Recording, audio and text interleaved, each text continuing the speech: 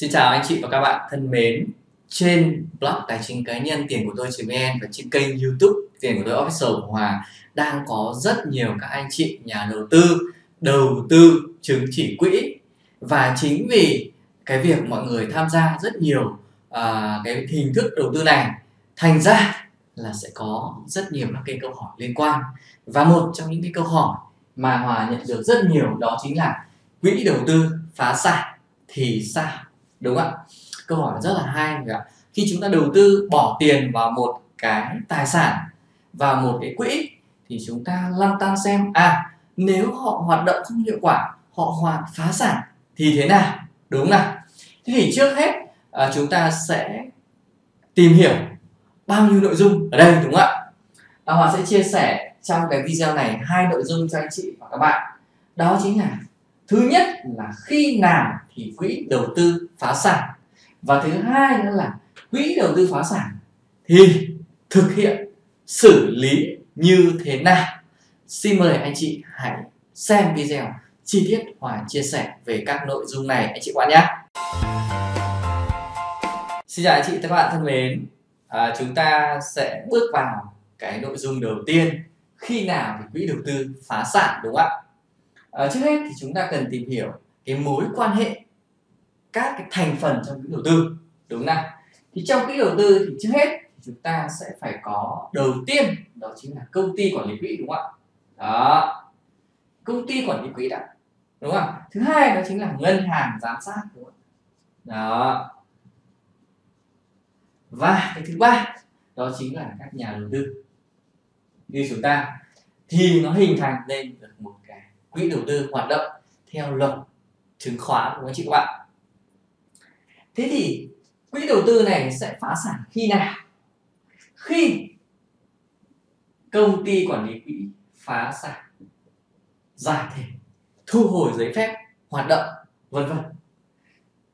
Thứ hai là gì? Ngân hàng giám sát cũng bị phá sản, giải thể và thu hồi giấy phép hoạt động.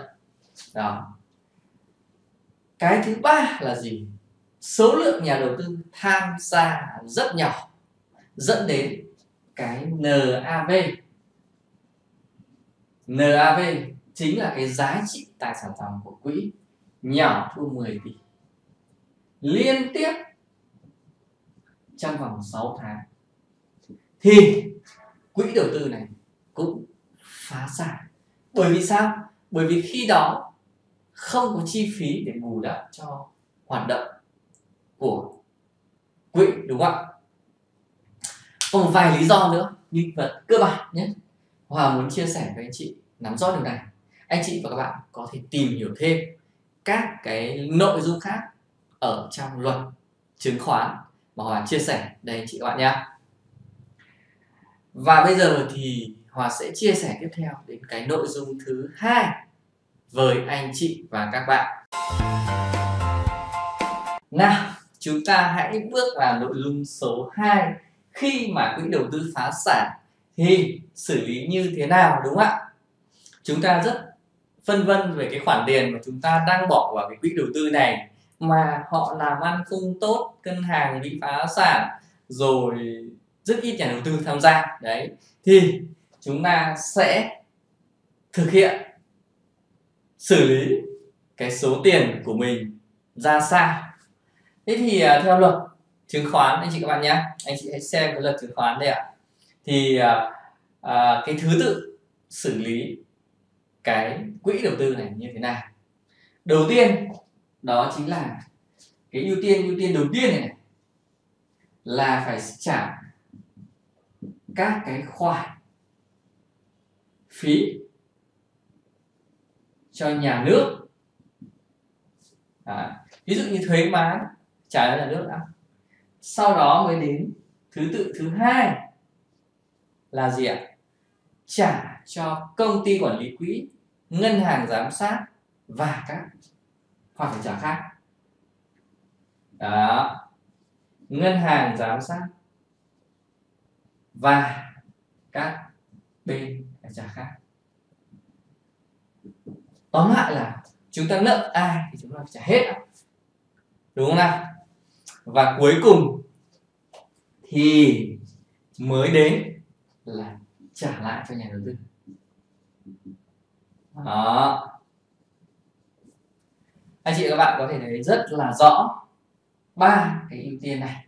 Đây là ưu tiên số 1 đây là ưu tiên số 2 và đây là ưu tiên số 3 thì nhà đầu tư sẽ là người nhận thứ ba khi mà xử lý các cái tài sản dòng của quỹ.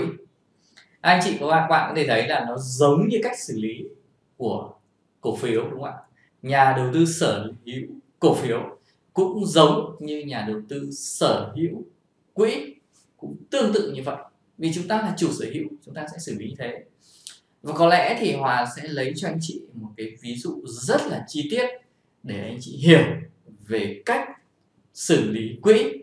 Và có lẽ hòa thử lấy một cái ví dụ à, dễ hiểu để cho anh chị xem nhé à, hòa giả sử nhé cái quỹ đầu tư. À, đầu tư là abc đi đúng không đó. Quỹ đầu tư này um, đang có giá trị tài sản dòng là NAV bằng à, 9 tỷ. Đúng không thế thì uh, theo luật thì là sau 6 tháng liên tục như họ họ họ họ có NAV dưới 9 tỷ này thì họ bị ngừng hoạt động. Anh chị các bạn họ bị ngừng hoạt động. Thế thì khi ngừng hoạt động thì hòa giả sử nhé là họ đầu tiên họ trả cho nhà nước. Đấy. Thuế đi. Là 500 triệu chẳng hạn thế trả cho nhà nước đã. Sau đấy thì trả cho công ty quản lý quỹ này cái phí quản lý quỹ rồi phí kiểm toán phí vân vân vân vân đúng không ạ? Và ví dụ là một tỷ đúng không ạ? Xong họ lại trả cho ngân hàng giám sát. Đấy ví dụ như là 500 triệu nữa đúng không ạ?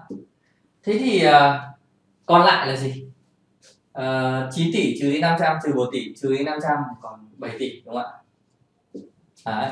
thì cái 7 tỷ này cái 7 tỷ này được chia cho các cái thành viên đang sở hữu quỹ đầu tư. Hoặc ví dụ quỹ đầu tư ABC đang có à, một nghìn nhà đầu tư, chẳng hạn như thế, đang có một nghìn nhà đầu tư, thì anh chị các bạn lấy 7 tỷ chia cho cái tỷ lệ sở hữu của các nhà đầu tư trong cái số tiền này, đúng không nào?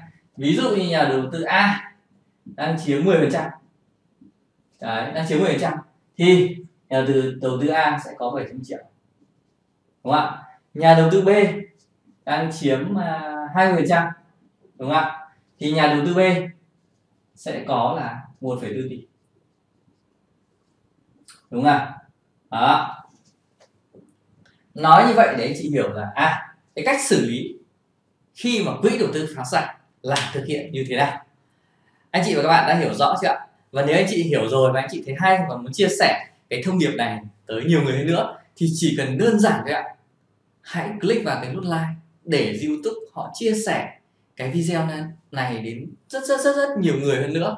Và nếu anh chị muốn nhận các cái video khác mà hòa chia sẻ thường xuyên trên kênh youtube tiền của lỗi sầu, thì hãy đăng ký kênh và ấn vào nút chuông, anh chị các bạn nhé hoặc cảm ơn anh chị và các bạn đã dành thời gian để lắng nghe cái video rất là chi tiết về cách xử lý khi quỹ đầu tư phá sản thực hiện như thế nào. Anh chị các bạn nhé xin chào và hẹn gặp lại anh chị các bạn.